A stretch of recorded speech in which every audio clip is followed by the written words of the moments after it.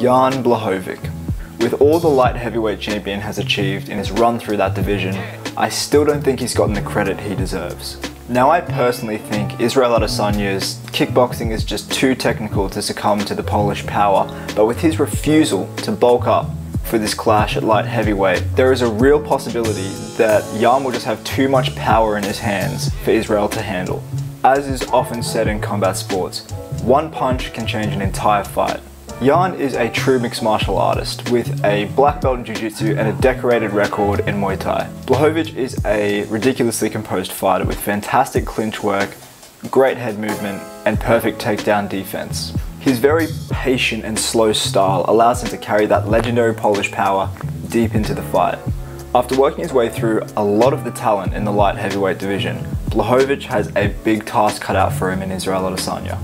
Adesanya might just go down as the greatest striker MMA has ever seen if he can keep maintaining what he's been putting down. With Adesanya's only clear contender in the middleweight division being Robert Whitaker, who he finished in 2019, he has decided to make the jump up to light heavyweight to gain a second belt. But no one should be overlooking Jan, especially in the way they have been. Jan cut his teeth in KSW, one of the premier organizations in Poland and one of the most well-respected companies in European MMA.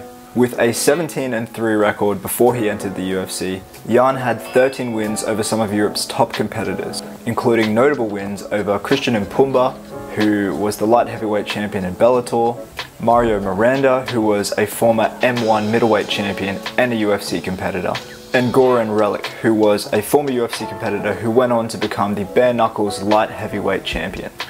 Although he took a couple of years to adjust to the new level of competition in the UFC, losing four of his first six, all by decision, Jan went on to move into the light heavyweight rankings. Following a loss to Thiago Santos in early 2019, Jan is now undefeated in four fights.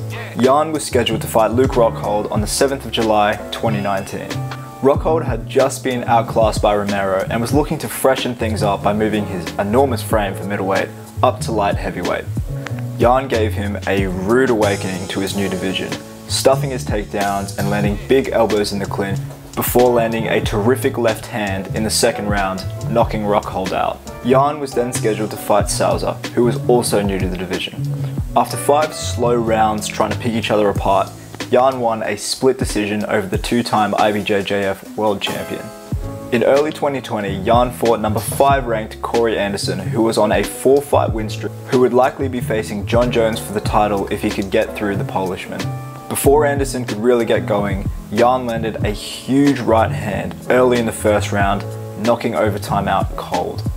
And that brings us to the day that Jan surprised the world yet again, finishing Dominick Reyes, who'd almost beat Jon Jones, bringing the light heavyweight championship to Poland for the first time. Jan has been an underdog in most of his fights.